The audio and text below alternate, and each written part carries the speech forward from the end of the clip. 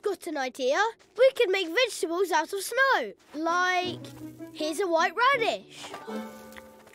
Hmm, not bad. But real radishes are definitely better. Just whatever you do, don't say snowball fight. Snowball fight? Hey! Did somebody say snowball fight?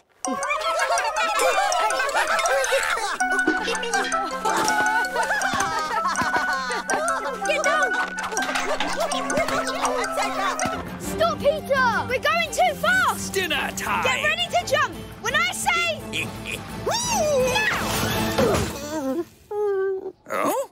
Ha! You missed! um, no we didn't. What?